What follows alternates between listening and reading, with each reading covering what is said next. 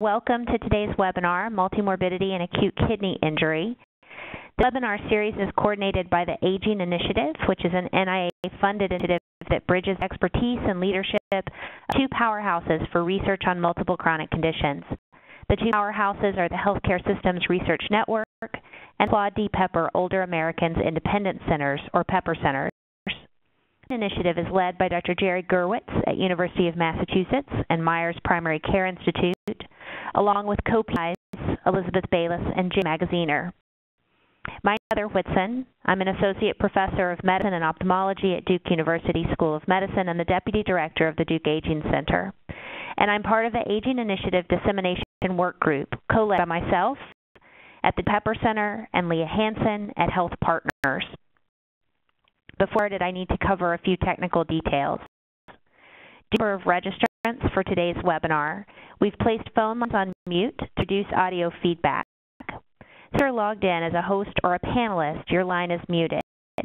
How we welcome and encourage audience participation using the Q&A or chat features of the webinar software. In your Cisco webinar portal, under the tab that says Presentation, and you look at the upright, you see an icon for chat and an icon for Q&A. Have questions for our speakers, please use the Q&A function to submit your questions.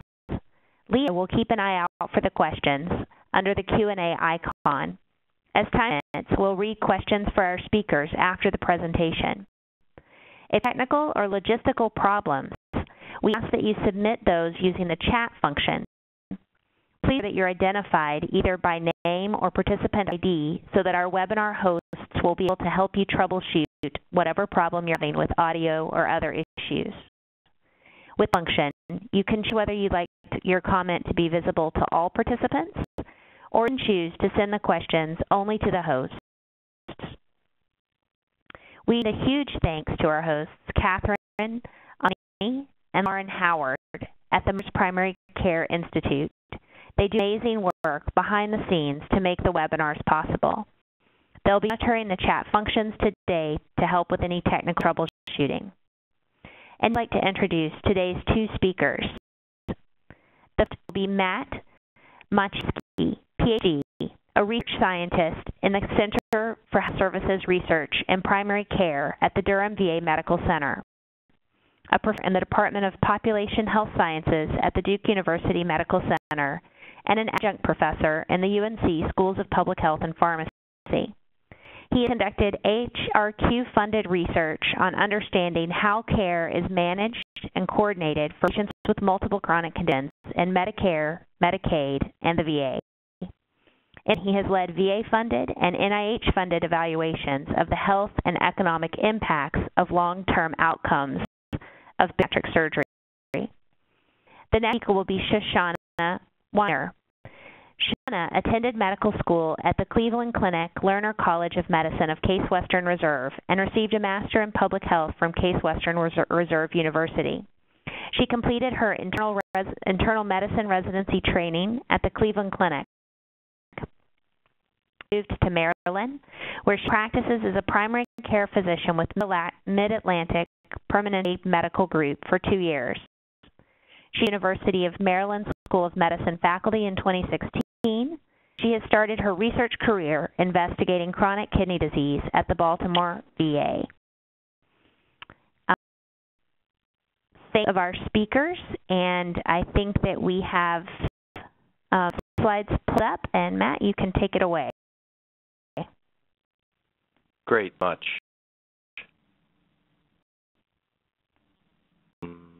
Let's see my slides.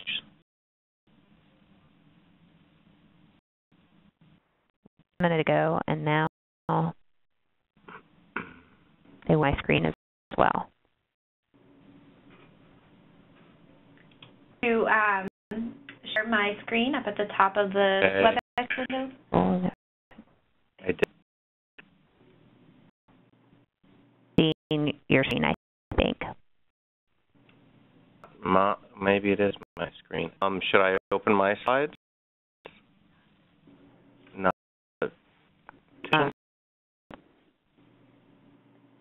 so you can turn mouse? I I'd open my slides and walk through them. Part of the we have available if you can't get to them, but if, if you can. Go. I will open them, so bear with me as everyone watches me go through find slides. You know what? Okay, let's see. Oh, hopefully everyone can see these slides. Yes. Yep. Great.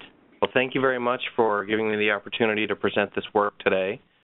Um, and I look forward to anyone's feedback and feel free to um, jump in if you have questions along the way. Um, should I shrink this in some way? Is that good? Did I do something bad? Where I am. Okay. Okay. You still see the slides? I can see them. Okay. Here we go. So I want to acknowledge my collaborators on this work, who are Brett Hammill here at Duke and Kim Lochner at CMS, and also VA HSR&D funding for my Research Career Scientist Award. Uh, this work I'm presenting was unfunded otherwise. Um, so, as many of you probably know, morbidity is associated with lots of bad things, including uh, healthcare expenditures in really a health system that you look at this slide just simply shows that Medicare total Medicare expenditures increase dramatically as you go zero to one conditions to up to plus 2015 data. Um, and the average number of medications taken by patients with multimorbidity also increases dramatically. Uh, this is again focused on these are adults 21 and older. Um, management of multimorbidity um, is challenging in numerous ways. I think based on work we've done and uh, with colleagues like Heather and others. Um, patient risk for adverse events, as I'd said, utilization costs increase with the number of conditions. Um, and it may be that management of multimorbidity become the defining challenge of our century now because people with multimorbidity are tremendously heterogeneous. I mean, the management of diabetes and hypertension and hyperlipidemia may be very different than the management of cancer, depression, and COPD. So there may not be a single magic bullet or care model that's going to work for everyone equally well. Um, and figure all this out it requires multidisciplinary, interdisciplinary collaboration because this to me feels like an incredibly large elephant for which I'm just sort of at one small part. And it's our collective work together, we can hopefully identify care models that work across a broad swath of people with multimorbidity, but I think we're still quite a ways from that. So present to you today is a, an analysis that addressed two research questions.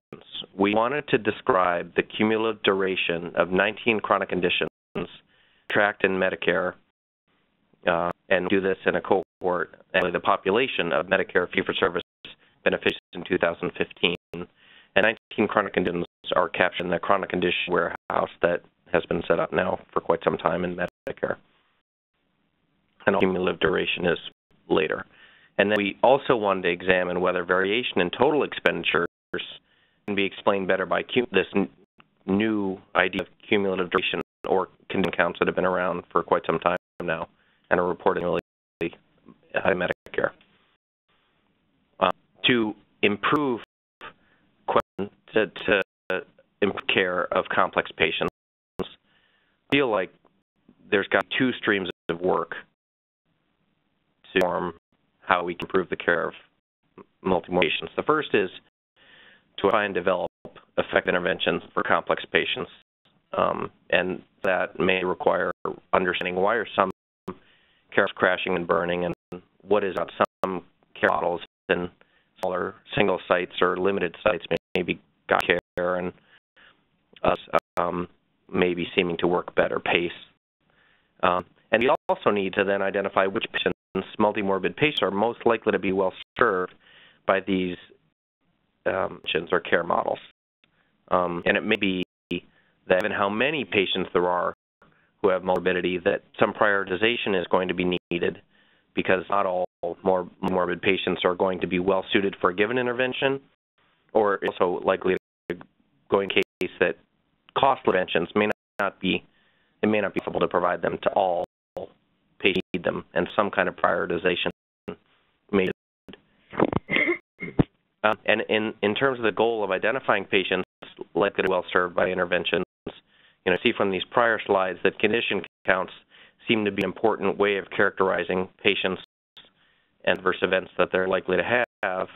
However, I'm coming becoming convinced that condition count is a very important step in trying to characterize who might be worked or who's at greatest risk for adverse events, but complexity is potentially the more relevant construct. And clearly, multimorbidity is a function, is part of complexity, but it's not the whole story. Because people whose care is complex, that is, they are challenging to care for, and they may be at great risk for adverse events, not because they have six conditions, but maybe because they have um, social determinants of health that are um, there or knows, I guess I'll say.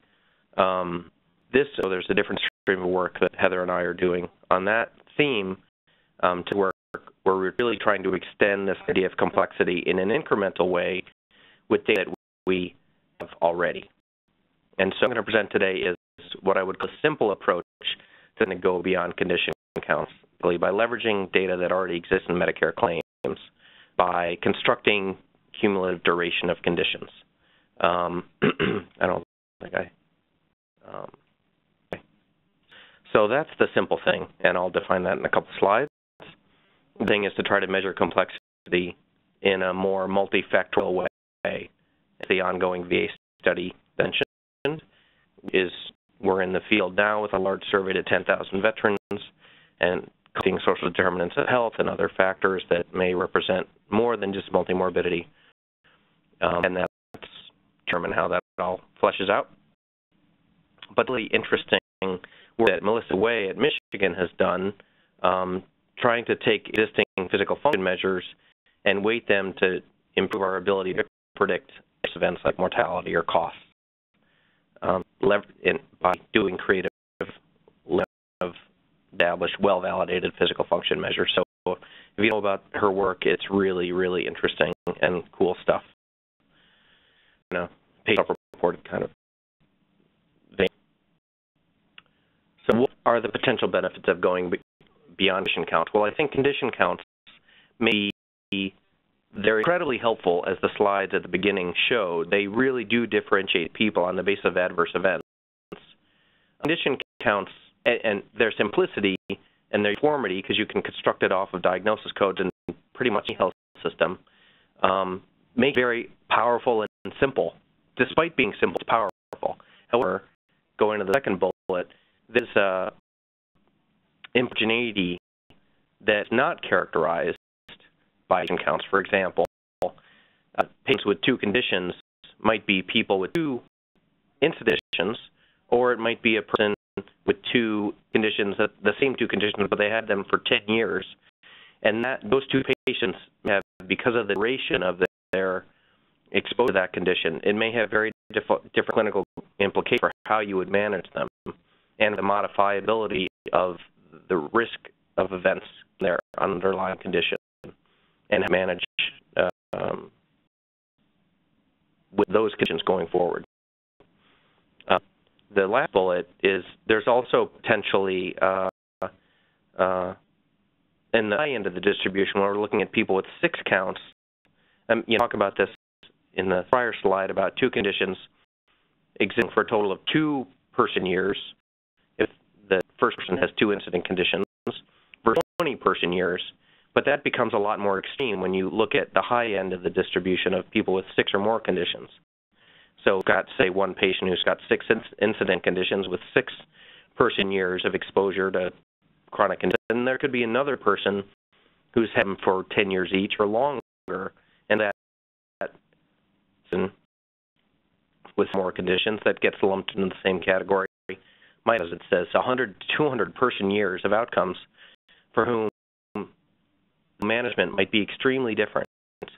Um, maybe that that person old have limited life expectancy be much more of a candidate for palliative care than the first person who has six incident conditions. The you might be working just with first line medication, say to try to manage conditions, or just starting with lifestyle modification, and the person may be well past that point.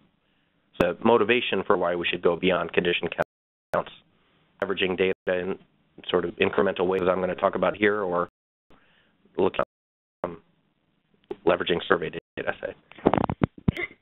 So the incremental work is, is to apply this cumulative duration idea, and I had this idea driving to work one day The Medicare claims for 20 years now almost, um, and has the CW data for quite some time, simply to instruct covariates or create a Charlson score predicting outcomes.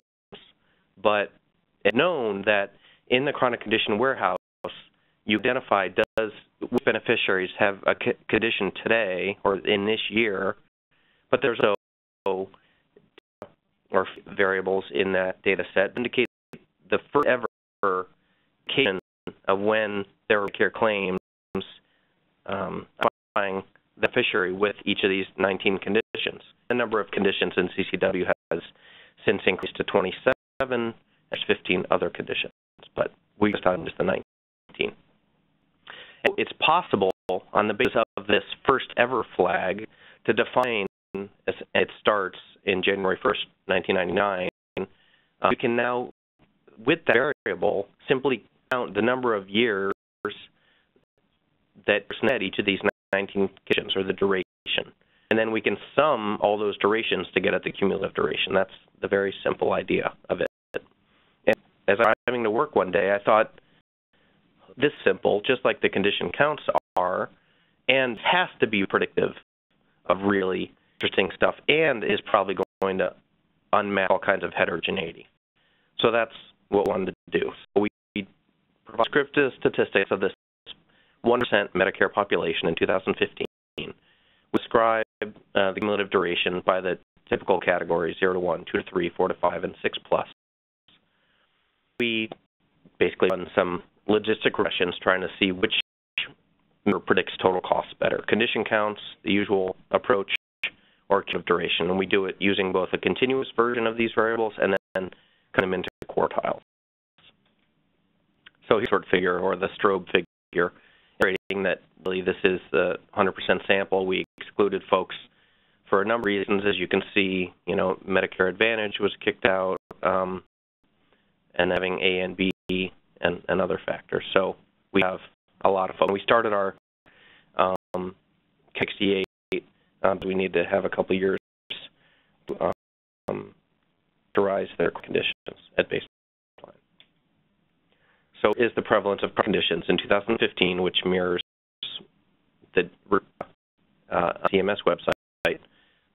Um, no surprise, hypertension, hyperlipidemia, diabetes, and arthritis are the most common diagnosed conditions in service beneficiaries. Um, and then in the overall cohort of two, 20 million beneficiaries, mean um, cumulative duration between 1999 and 2015 was people had an average 23.6 person years of the 19 chronic conditions, with a minimum of zero because people basically died within the year early on and didn't have diabetes, up to 200 and almost 17 person years of exposure. And obviously, we know that, that have been in Medicare well long before 99, or might have had these conditions before becoming eligible for Medicare. And so, you know, this maximum value is actually, or all the values are really underestimates, likely. But nonetheless, this suggests that there's a lot of heterogeneity. The deviation uh, is equal to mean. So that's also an indication of strong variability. and when we look, break this out by the different subgroups, we can see in people with zero conditions, their mean is 2.6 person, which makes maybe some sense. And when we jump to the category of people six or more, we jump 56.5 person of exposure to these 19 conditions. And the maximums increase a lot, as you would expect. Um, I think that's all I'll say about this.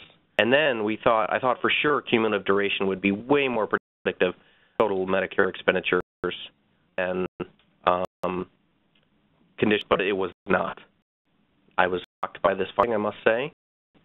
Um, and so, no matter what, whether we measure these things as counts, or continuous variables, or quartiles, counts are vastly more predictive. Um, and so, you know, total expenditures is not uh, an outcome in which this is going to be informative. There may be other outcomes that are that that of duration would be more predictive of. Um, but none, and there are other limitations that I should note that the we didn't have consistent look back periods uh, from 2015 for defining conditions. That's the way CCW does it. Um, those here. Um, and the, another thing about this is that some conditions are really persistent once they become incidents and require ongoing clinical management and self-management, but others less so. Some others, like and stroke, may be episodic. If you had a stroke years ago or depression 12 years ago, you don't necessarily have it today, and it's not necessarily worse than it was 12 years ago. With diabetes and hypertension, those are still going to be ongoing. You had some, say, dark surgery or something. Um, and so, the, so the accounts treat all these conditions the same, and there's probably a need to weight them in some way, and that's subject for future work. So, in conclusion, we found that there's significant variation in cumulative duration. Um, it's especially true as condition counts increase, as you can see by this table. uh, the range between the min and the max, and then deviation basically right increases markedly as you go up in number of conditions. Condition counts were more predictive of Medi total Medicare expenditures than cumulative duration. Um, and then lastly, going back to the big picture, I think we to identify complex patients whose outcomes are modifiable by new care models. Uh, maybe cumulative duration is a useful tool. It is useful for, say, risk adjustment or something, and expenditures, as I might have hoped, uh, can be a really descriptive thing to tease about tease apart some of the heterogeneity that you get at through um, some counts. Uh, and lastly, this is an incremental way of uh, trying to plug into the same lamppost and redo a condition count analysis, but to move measurement incrementally forward, hopefully some useful way, but um, not. So very much and happy to questions. That was um, great. Um, and actually have a, a question, and in the meantime, um, I'll see if um, Shoshana wants to start um, getting slides ready to go. But but my question would be, is the is one potential issue with the with the cumulative um, duration of conditions the fact that for some conditions it may be just a linear relationship that the worse you have it, sort of regressed and gotten worse. But for other things, I can imagine that almost having it for a long time actually um, either mean that you've grown accustomed to it or you've um, it, it, it's, become relatively rel- relatively well controlled, or that there may be sort of a survivor effect going on where when you're something that people have had for a long time, those people that are that are tolerating it fairly well. I think those are that's a really good point. I mean, I know in in the Charlson score, I think, and maybe the and certainly the Gagne score, hypertension is a, not a predictor of mortality in the Gagne score because apparently it's awfully well controlled in a lot of patients. Uh, so, and, and this measure does not consider medication management or well controlled these conditions are and the survivor effect. So, so in a way, what in a way, for a number of reasons, this measure of cumulative duration is endogenous for a number of reasons, and I think that's totally legitimate and a real criticism.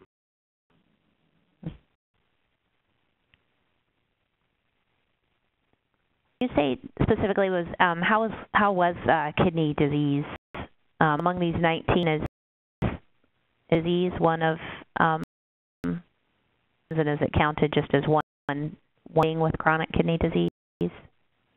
That's right. And we don't stage it. We don't. No, there's no staging to any of these conditions either. Right. Right. Right. So speaking of chronic kidney disease, I know that that's going to be the topic of um, Shauna Weiner's um, talk. And um, Shauna, um, do you want you to get your slides up? Oh, looks like there.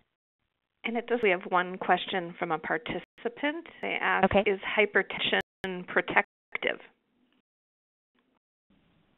Um, certainly, if it, it's probably the case that could be. You know, we didn't disentangle the we didn't look at the duration effects of addition to see if there was nerdy in it or no association, and that might be a logical thing to do. So.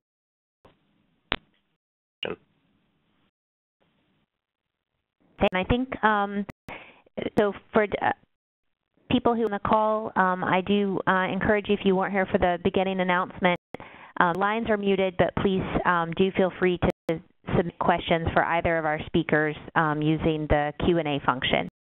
Um, and with that, uh, Shoshana, I'll, I'll, let I'll let you take it away. Great. Um, um, can you guys hear me? Okay, that's good. That sounds good. Thanks. Sorry. Um, uh, for my pilot project, I started to look at um, comorbidity indices as well, and for uh, two comorbidity indices, um, how they may play a role in understanding the risk of death or end-stage renal disease in an elderly population. Um, so first, I'm going to start with some definitions.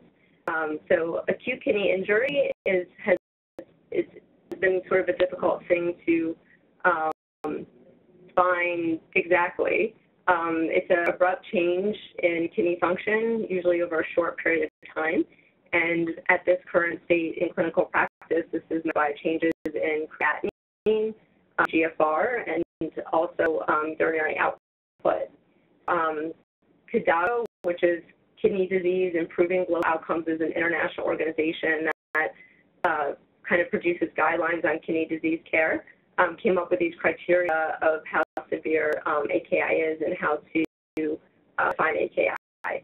Um, there's been three steps, and um, they're based on how big the change in creatinine at baseline or the need for renal replacement therapy.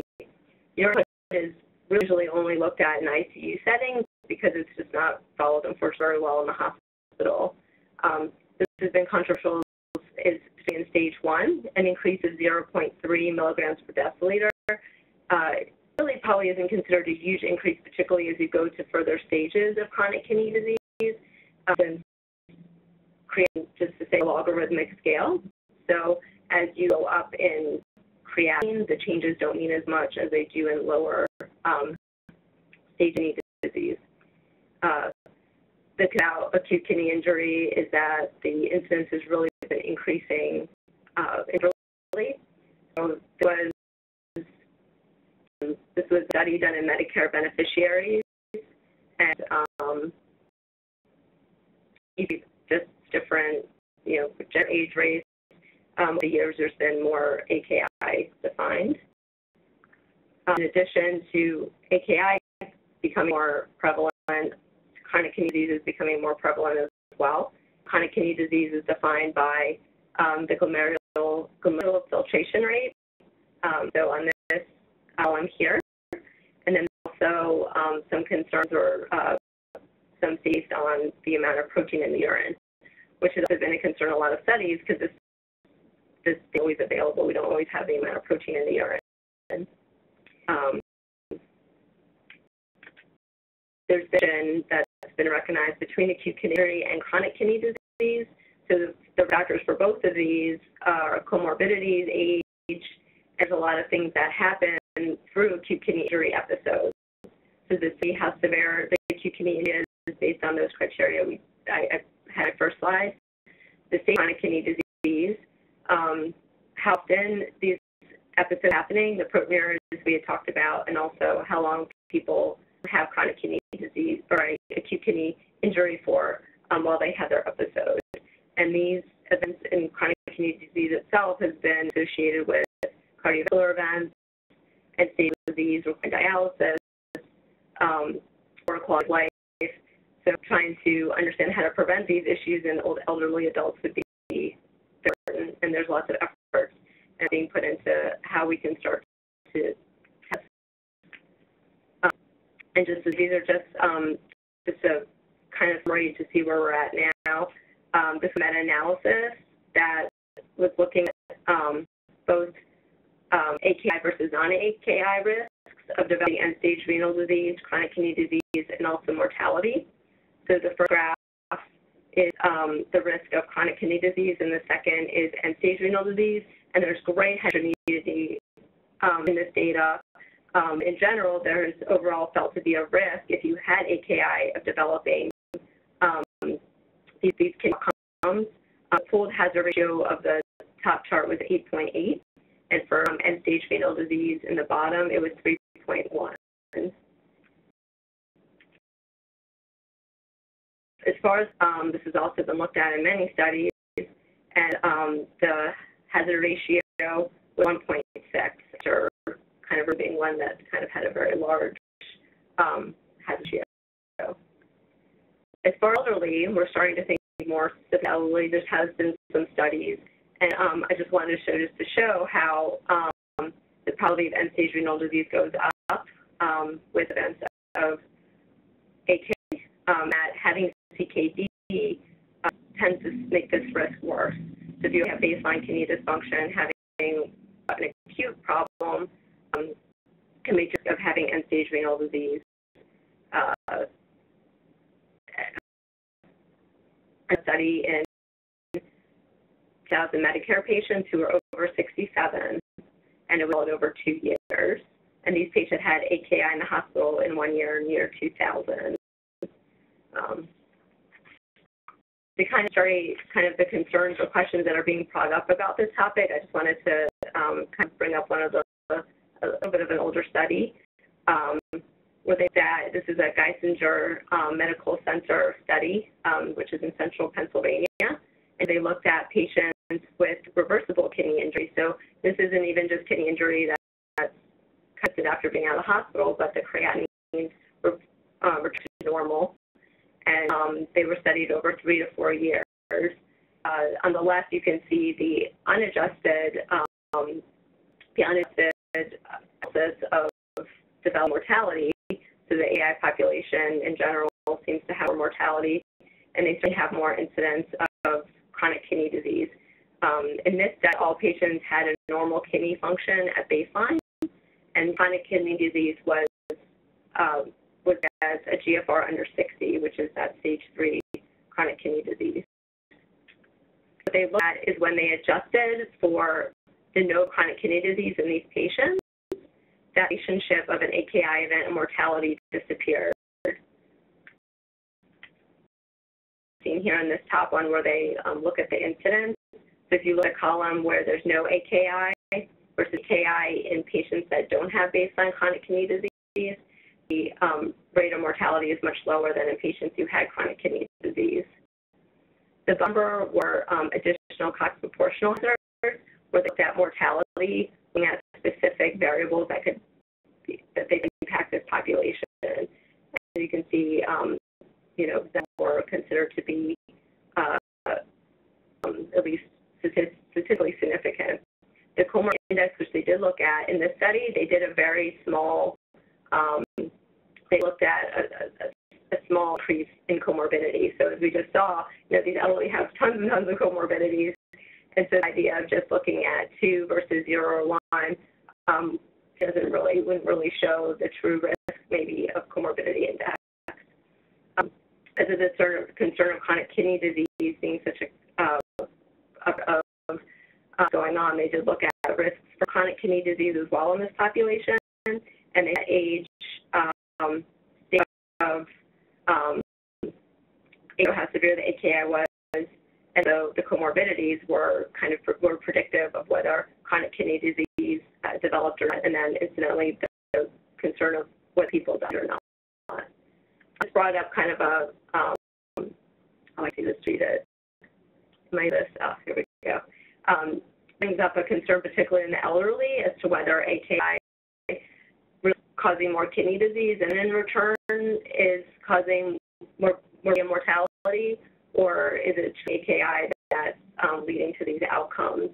Um, and the concern is that these patients with AKI, maybe it's not actually the event itself that's causing the issue, but that patients have a lot of comorbidity to start with, and they're at risk for AKI and incidentally are having AKI. So it's a little bit chicken or egg question, particularly in elderly, being um, explored and thought of. Um, so in this pilot project, one of the um, that I looked at were two comorbidity indices, which I'm trying to figure out. I don't know why this isn't advancing. Um, oh. Um, so the two, uh, what we had talked about is the Charlson Comorbidity Index. And um, as we talked about, there's 19 different variables. That was um, sort of put in with ICD-9 codes that um, called the Deyo-Charlson Comorbidity Index. And part of the reason we did this is we just we to be blunt fast code for it, so it made it easier to do. Um, only difference between the regular uh, Charlson that I wanted to bring up was that all of the cancer indices were put into one, the metastatic cancer. So it made it into 17 variables instead of 19, so not quite as specific as the original Charlson comorbidity index. And also looked at what they call the new comorbidity index, and this was developed in the United States incident dialysis population in 2000. Um, and what it is it performed better predicting mortality in patients who had just started dialysis. Our population is different. Um, my feeling this index is, first of all, it's easier to use, and that they're um, more on comorbidities that specifically affect kidney function. Um, the fact that it's developed in a kidney population uh, who's kind of reaching end-stage renal disease. Uh, in this pilot project, I looked at, um, I compared the new comorbidity index to the Charlson in an elderly population after an inpatient AKI event. And then I wanted to compare how they um, um, its utility, and then how they performed compared to each other. And then I looked at comorbidities as part of predicting end-stage renal disease, which um, I find in this cohort as a GFR under 15. Um, so what, so this is my population, which is on the next slide. Sorry, I'm having trouble here.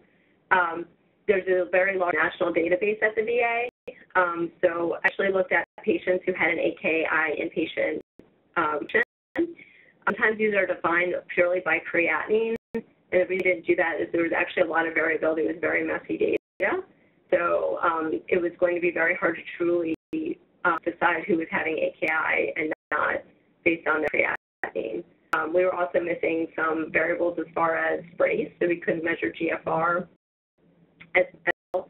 And so um, we took for women, the women have um, a lower creatinine um, for GFR based on the calculations that we use for GFR.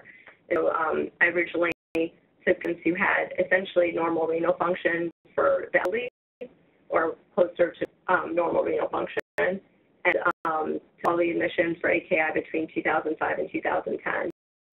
And so these were excluded on stable um, labs and um, there's, as I said, just a lot of variability. And this was six months before mission. And so it was pretty surprising to see so much variability in how sick this population is at the VA.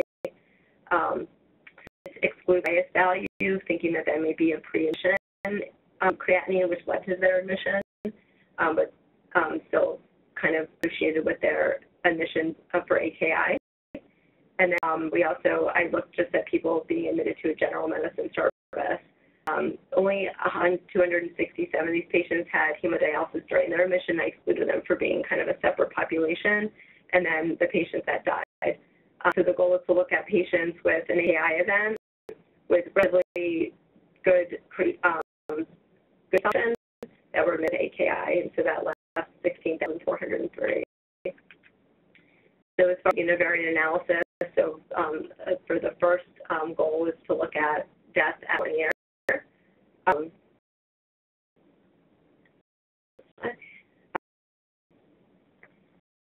as far as univariate analysis, patients um, who died, which is not surprising, they had a lower length of stay. And um, interestingly, um,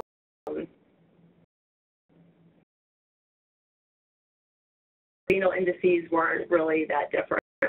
So statistically, or I guess statistically, there was a difference between baseline creatinine and GFR, um, but clearly um, there wasn't much of a difference between these between especially also in the severity, AKI severity, which has been shown to be a risk of mortality. I also looked at AKI as a primary diagnosis. Um, um, and with GFR over 90, but um, I split the GFR um, calculation based on for all under 60 would be considered stage 3 CKD. There's some um, data in elderly, and we discussed elderly as to how accurate GFR calculations are. And the issue is the elderly uh, tend to have a lower muscle mass. Um, also, you know, frequently if patients are sicker, um, they may have a low creatinine because they don't have a lot of muscle mass. So there's some issues with measuring creatinine that are being studied using Chinese other markers of kidney function, which eventually in the, in the future of medicine might be very helpful, but um, right now in the clinical world, we don't have a whole lot of opportunity um, to use these other variables like cystatin and other things that may be associated with muscle mass. So it's interesting that a lot of this, a good amount of this population actually had a GFR that was above 90, which would be a very high renal function. Um, someone who's elderly.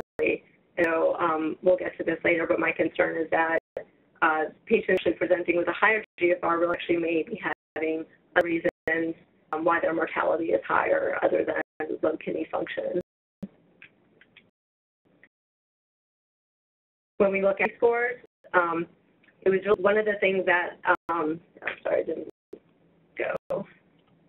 When we look at morbidity scores, um, there were some findings that were that you know we want to go back and maybe try to explore a little bit better. But in general, congestive heart failure, cerebrovascular disease, peripheral vascular disease, cancer, arrhythmia, COPD, and liver disease were um, were more common in the people that died at one year. What was strange is that diabetes and um, coronary artery disease were actually more common in the patients that lived. And I don't know if it was people weren't um, recognized as being diabetic or some reason the treatment AKI, somehow these patients do better. Um, I don't know why that would be. Um, it was consistent using both um, comorbidity indices and something for us to figure out in the data.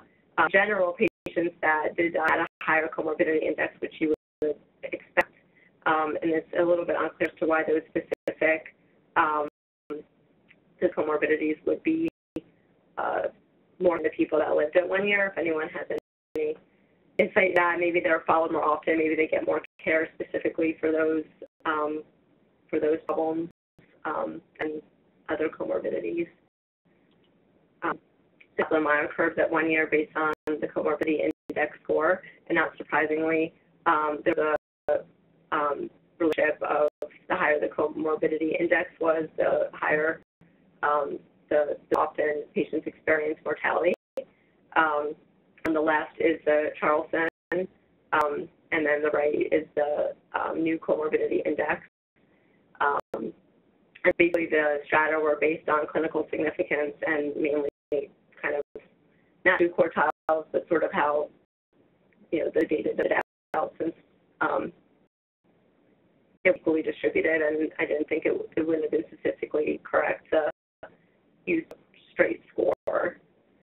Um, for the proportional hazard models in this, um, there was a dose-dependent relationship between increasing comorbidity index and um, risk for death. Um, kind of interestingly, there may have been a small impact on acute AKI severity, which has been found in other data. Um, some of this may have to do with um, some lack of significance, may have to do with a smaller population of severe uh, severity of three, um, but um, the, the, impact is, is, certainly more than what's been seen in other studies. Um, stay was not surprisingly related to mortality. And um, as far as the GFR relationship that we were talking about, that was sort of interesting. Is a um, sort of a J-shaped relationship. So for patients that have GFR between 60 and 90, um, there's no difference in mortality risk. Patients who had a higher GFR, there's an increase in mortality. This is for both models, um, you know, meaning that you know, there's certainly variables, unfortunately, um, that we were able to look at that we want to look at in the future or um, just really aren't available this data. So proteinuria, as we discussed, is a um, big problem in VA data because they frequently aren't able to get, there's just the data available in the data set. Um, and it's in um, this, this uh, the amount of recovery. Um, the, there was a lot of variability again in the data with creatines that were available um, after discharge, but um, in future we want to do a sensitivity analysis looking at um, a population backward. So as far as for the, the risk deaths, um, there was a dose-dependent increase with comorbid burden. Um, there may be some relationship with the severity of AKI, but um, at least in this data wasn't as strong as what has been seen in other populations, maybe due to the fact that we're controlling for comorbidity better, or maybe because of the older population, maybe that there's more of a relationship in younger patients. Um, and then um, patients with a higher GFR may actually have a uh, higher risk of death, maybe due to um, other uh, issues with their with their health, such as frailty, sarcopenia, um, and other studies when they can't proteinuria have looked at serum albumin, um, which um, we're um, hoping to go back and add that in to see, and that may be a marker of some of these other um, that are going on with these patients. Two comorbidity indices were performed pretty equally. An additional analysis, which I'm not showing today, um, we did do a standardized a standardization of the comorbidity indices to be able to compare them better, and there was really no difference in the C statistic. Um, so the uh, perhaps a simpler comorbidity index may be easier to use, although didn't really perform too much better than the Charlson comorbidity index. So, um, and if is easier to use, it may be worthwhile thinking about. Um, the analysis, we did competing risk to look at the outcome of end-stage renal disease. Ours competing risk, um, just to kind of describe that, um, it's possible that two either completely independent events can happen or that two related events may happen. And the concern is that um, one of the one of the outcomes could prevent another outcome from happening. So, for example, in our study, the primary um, event we're looking at is CKD progression, which in this case I, I, was looking at stage renal disease, but if you have to be able to live to develop end-stage renal disease. Um, the one year was very low at 0.6%, which is similar um, to other studies in this population where um, even patients in general outcome in one year is, isn't um, super prevalent. And so, or incident. So um, in order to do this analysis, I, I, matched it on gender, region, and admission year um, in order to come up with a cohort. Um, which is slide. Um, so here's area analysis um, for the renal disease. Um,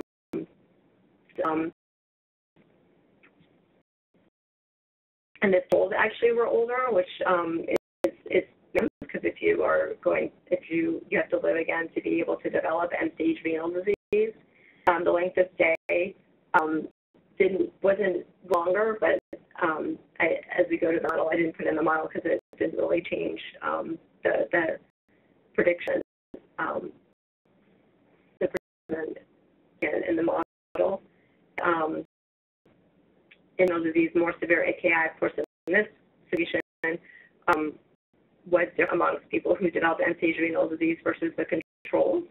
And AKI as the primary diagnosis was more common in people who reached end-stage renal disease. And um, what's interesting too to look at is the competing risk, and really was a very high death rate in both populations. So in general, this is a very sick population where mortality is just much more concerned potentially than even um, getting end-stage renal disease or even earlier stages of CKD. Uh, and the controls enterprising had a higher mortality. Um, there really wasn't a huge difference as far as baseline renal function um, at the beginning of before the AKI um, event. Um, as far as indices are concerned, um, control had a higher incidence of care and COPD, um, which is interesting that um, you know perhaps patients, you know, have end-stage renal disease don't perhaps that um, comorbidities often, uh, although um, it's interesting to go back and kind of understand um, some comorbidity uh, distributions better, which we, we hope to do. Um, and as far as the so, um, so the cumulative, like we've been talking about, the actual amount of comorbidities per person was similar. And here, diabetes a little bit a little bit more sense, although it wasn't different between populations, but um, at least the people who developed end-stage renal disease didn't have a lower threshold. But it's just, you know, this kind of showing how complex the relationship is between all these different comorbidities and whether someone is going to develop end-stage renal disease or even mortality um, in this population, which is part of um, the studies said have been very variable, what they look at, how they look at it, um, and it's uh, very complex uh, relationship. Um, looking at the incidence curves, um, it, this this uh, it, the in the curves was not statistically significant, but interestingly, people with a low comorbidity index did tend to have more of an incidence of end-stage disease, which makes sense because if you're you have to be able to live in order to develop end-stage renal disease. Um, so this with a competing risk model for the Fine-Gray model is are direct hazard ratios, so you can't look at them the same way as direct risk like you can with a Cox proportional hazard. Um, surprisingly, AKI primary diagnosis and um, at least stage, stage 3 study for AKI was related with developing um, end-stage renal disease. Um, what, what I hope to sort of out and think about how to look at this later and, oh, and also younger age again, because if you um, or you have to be able to live in order to develop end-stage renal disease. Although the comorbidity index scores were not significant, in this case I only use the morbidity index, um, there is at least a, one could do a potential trend um, towards actually having a lower um, comorbidity score, which may be in a bigger, um, the patient is small in this analysis, so that may not be good enough to detect this. But um, concern would be when we started thinking about elderly they get admitted to the hospital with acute kidney injury is if they do have a comorbidity index and having a very severe AKI event, maybe patients in particular that we may be thinking about more how to get their kidney function um, stabilized and look at outcomes since, um, you know, we, are elderly getting stuck on dialysis, which is happening more often now. Um, as far as this uh, analysis was concerned, so patients with more severe AKI, um, their primary diagnosis of kidney failure um, had increased risk, which is consistent with our um, studies that have been done. Um, and you know, this high mortality rate makes it very hard to kind of find this relationship and see. Um, some studies have handled this by actually only looking at patients. Um, the recent study um, done actually only at patients that lived for the year and compare that to people with end-stage renal disease. But especially in the elderly, that would be very biased since um, if you look at the risks and, and in that population, you're not really understanding how likely it is for someone to get end-stage renal disease. Um, basically, when you're seeing a patient in the hospital, you can't predict is this person going to die or not die. So we want to try to come up with abilities to predict um, outcomes at the time of treatment and not introspect, you know, um, younger patients had increased risk, which which also makes sense. Um, and so the next steps, um, which some of these things brought in, we want to look at other um, labs and factors that could contribute to end renal disease, um, look at renal worker data and the, in the data that we have for that, um, probably look at this issue with diabetes being less common in patients that uh, one year, so maybe looking at sugars or A1Cs or medications for misdiagnosis codes, um, locations who are admitted to other parts of the hospital, and um, also compare patients that do and don't start renal replacement therapy, which is a topic in the elderly since, um, and that's another line of research looking at uh, who would truly benefit from starting renal replacement therapy in the elderly, since as we just saw, the mortality is so high. Uh, and thanks my funding source, which was the Aging Initiative Project. Um, my collaborators and mentors, um, Dr. Fink at the University of Maryland is a nephrologist here, Dr. Ketzel is a pediatrician at both is more VA. Um, Dr. Smith is over at Kaiser Permanente, and he helped me with developing my project and the data analysis. Um, Dr. Sun and Dr. Zan are the statisticians that helped me. Dr. Stewart is amazing with uh, large databases, as is Tariq Siddiqui.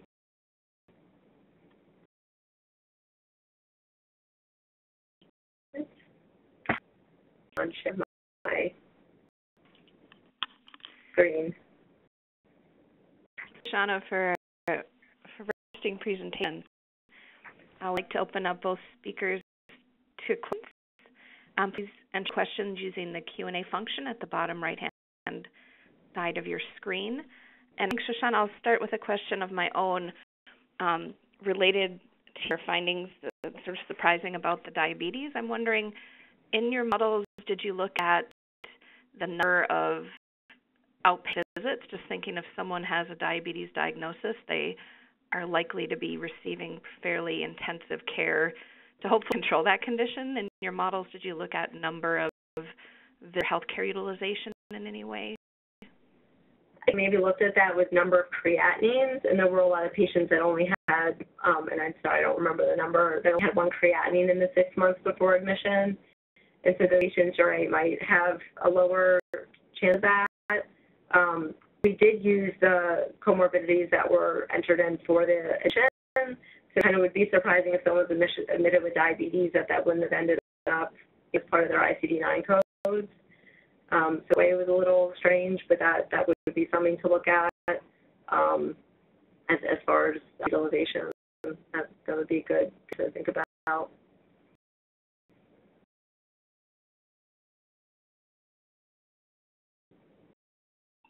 As I didn't actually look at as far as so that would be something to think about too.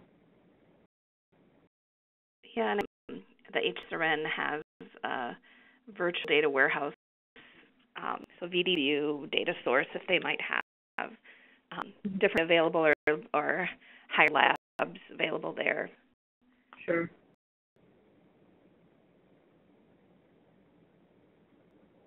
The question they'd like to ask?